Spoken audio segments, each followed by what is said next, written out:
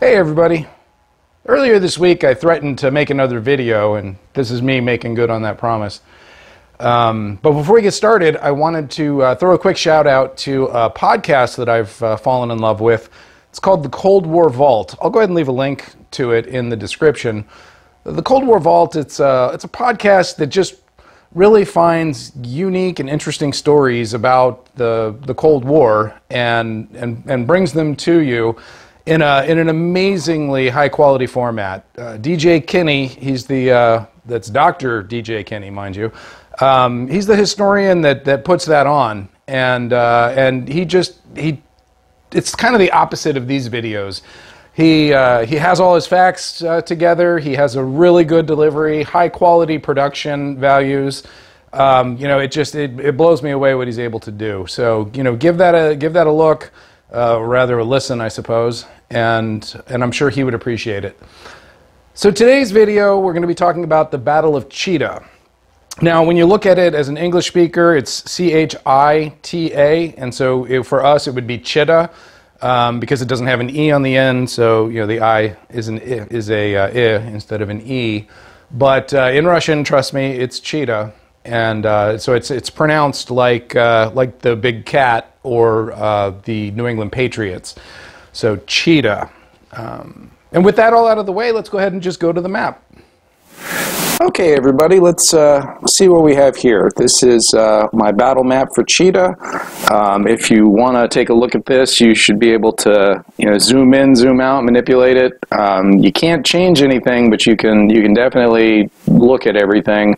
And that's at my website, alexanderaaronson.com. I'll let you sort out how to spell that. Um, but anyway, so we're looking at uh, the last time we talked, we've talked about the Far East. Uh, so over here in Vladivostok, that's where a lot of uh, stuff's going on. That's uh, uh, Major Kaprianov over there. And then we've also talked a little bit about Kyakhta. This is where the uh, the Chinese made their their main push in the Transbaikal area. Um, and so now this is in between the two. And this was originally something that the Chinese were leaving alone. Um, but they decided to kind of take advantage of applying pressure across the entire front. Uh, you know, obviously not the entire front, but in concentrated areas. Uh, the Russians, their strategy was to essentially trade um, this distance for time. So they they weren't really in a good position to defend across the whole border. So instead, they withdrew to Chita so that they could try to just set up one battle royale. They would then invite essentially invite the Chinese to uh, to attack them there, uh, and with with hope and good strategy, they could they could uh, you know win the day. So, what did this really look like? let's zoom in a little bit so we can kind of see the lay of the land. Now what I've done is I've used contact markers uh, to show uh, the starting points of the units and and it's it's pretty easy to understand what's going on. If you look at the terrain, there are essentially two passes into, or rather two avenues of approach to Chita. The first one is this, uh, the Ingota Valley, which is this open area between these two sets of mountains. I mean, this is the this is the highway. This is the the easy way in. It's the front door. Uh, but then a much more uh, dangerous route is through this pass through these mountains, which is to the southeast. So the Chinese, they decided to take their 81st Group Army, which consisted of uh, in addition to obviously the uh, ancillary support units, um, we have the 7th Heavy Combined Arms Brigade. I'm not going to go through each of these. Uh, that, you guys are definitely uh, tune out. But anyway, they have three heavy arms, heavily. They have three heavy combined arms brigades, two medium combined arms brigades, and one light combined arms brigade. And essentially, what the differentiating, differentiating, differentiating factors between the heavy, medium, and light are what vehicles they're using. So the heavy brigades, those are, have a more of an emphasis on armor. The medium brigade, uh, the medium brigades have more of an emphasis on IFVs, and the light brigades are IFVs, and, and as far as the mobile guns go, they have self-propelled mortars as opposed to the to the larger guns. So uh, that's that's kind of the definitions there. Now, if you look at this, you know, it looks like it's a fairly even fight. Now, that's that's kind of my fault because I don't have my my markers quite up to to to par for that. So even though it looks like uh, there's a lot more, there, there, are more blue units in defense than there are red units on the attack. Um, each of these, this is a, an entire brigade, whereas uh, you know this right here this this marker here is actually just to indicate where the spotters are for the artillery and the reason i included them is because they're mentioned in the book um, in addition to that the brigades, the uh, Soviet, or rather the Russian brigades, are broken up. Um, so the the 36th Separate Motorized Brigade, you know, these are their BTRs. Those are wheeled transports that they use. But then this one right here, these are their BMPs, which are their infantry fighting vehicles. So they're broken up into smaller uh, smaller units. So so while the board doesn't look like it, the the Chinese are really bringing overwhelming force. So the idea was to send these heavy brigades up the Ingota Valley and and attack Chita head on, while the smaller, lighter forces would try to work through the back door. And the idea is to essentially just you know meet meet them in the middle, uh, and and so by the by the time it's all said and done, they'll just have wiped out everybody, and um, you know they will have essentially uh, cut off the Soviet Far East from. I'm sorry, the you can tell I'm writing the. Uh, Soviet endgame books right now. but the Russian Far East from uh, the rest of the country. So, how did it go?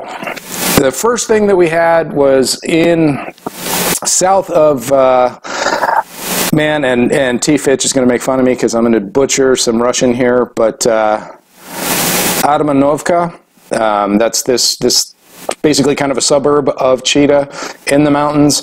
Well, there was a uh, there was a minefield that essentially alerted the uh, forces, the uh, NATO forces, to their presence. Now, in this whole valley, uh, they they had dismounted the, the uh, they had dismounted infantry and uh, IFVs. So in this case, we had the uh, 23rd Mountain Infantry. Now that that actually is a German unit, one of two German units that took part in the battle. Uh, and then this is their their dismounted. I'm sorry, this is their uh, their IFVs, their Boxer infantry fighting vehicles.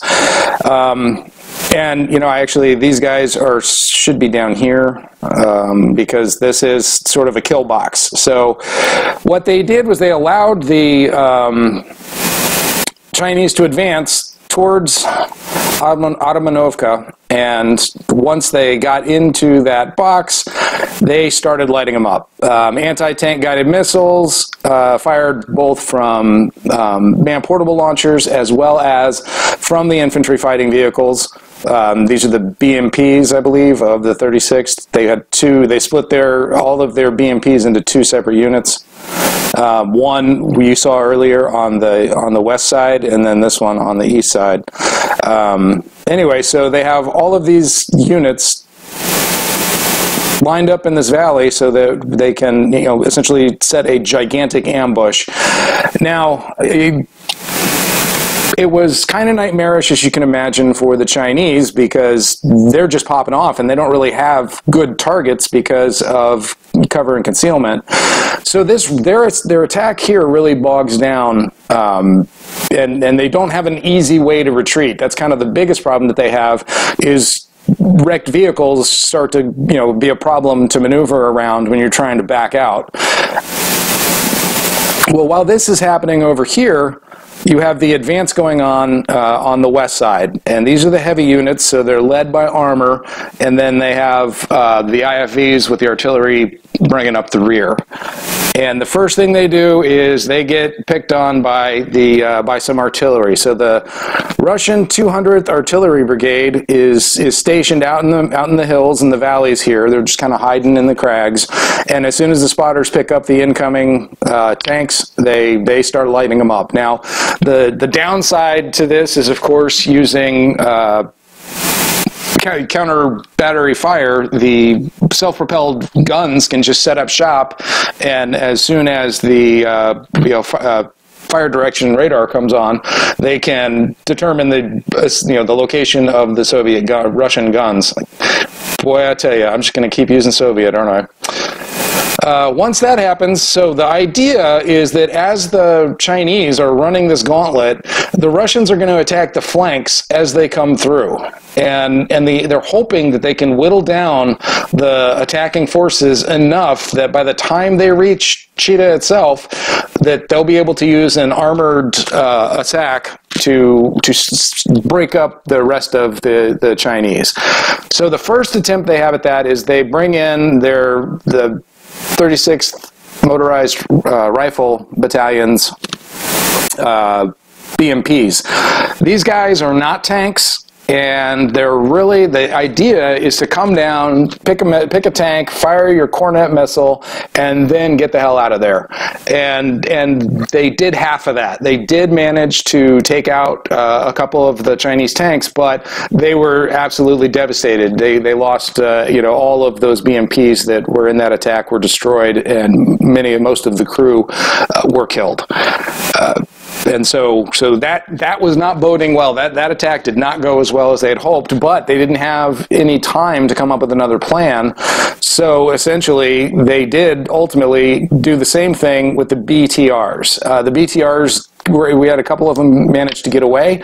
Um, but it was still, you know, a pretty futile attack. Um, not not really giving, you know, as the defender, you you know they're going to the the attacker is going to bring more, so you have to be able to take out. You can't do a one for one exchange. Um, you know, that's that's never going to work. Um, but the uh, the drive continues on until essentially the uh, 12th Panzer Brigade of the uh, German Army comes down, and as the the there was a T-90 tank company attached to the 36th, and they attack head on the the elements of the 7th uh, Heavy Combined Arms Regiment, and while they're attacking uh, head on, the 12th Panzer Brigade is able to attack the 194th Combined Arms Brigade, basically flanking it as it's as it's heading north. Now, the results of these attacks, you know, you figure between the artillery, the BMPs, the BTRs, uh, the lead elements, we're, we're already taking some hits. But this this massed armor attack really does a great job of repelling those first two uh, those first two brigades. Now, what the problem is, and they you know they don't, they don't know it when they're busy winning. So so they've basically by the time the the 12th Panzer Brigade is done, um, most of this 19, 194th Arms Brigade, you know, the heavy units especially have been destroyed. The, almost the entirety of the 7th Combined Arms Brigade is destroyed. Anything that's left is retreating. And the Germans and the Russians basically fall back what's left of their forces, which is not much. I, I forgot to write down what the uh, numbers were, but they retreat into Chita to to continue the fight and while that's happening, you know, the, these whatever's left of the first two uh, combined arms regiments are regrouping, while the 195th Heavy Combined Arms Brigade is going to continue the battle. And this is really what happens. You had the you had the stragglers from the tanks, and you had the uh, basically the cooks in the uh, the cooks and the clerks from the 29th Army, uh, which I mean not much of an army by this point, but they're defending here. So while the back door was essentially closed, and a lot of the German and uh, well, the, the German forces here are able to withdraw into the mountains and escape so that they can they can fight again another day. Uh, the Russians are essentially fighting to the last man, you know, as, as best they can uh, until they're captured or killed, and we we end the battle with with Chita in uh, Chinese hands. It was it, it cost them a lot, but given their their desire to separate the Far East from the uh, rest of Russia, it was definitely a, uh, a tactical success. So uh, I hope you've enjoyed this. I hope this gave some clarity so you can see, you know, the the terrain. I think you can you can understand why the Chinese chose the the attack that they did, and you can see why the uh, Russians thought that they might have a chance to defend, but that with overwhelming force, uh, the Chinese were just just able to to overrun them. So anyway, uh, I hope you enjoy this. I hope you give this video a like. Um, you know, subscribe if you're looking forward to more content. I've got some more videos that we're going to do on other battles. I think we might do the Battle of the Java Sea next. I haven't done a naval battle yet, so that might be uh, a little different. Or we might just uh, start moving on into um, Monroe Doctrine Volume 5.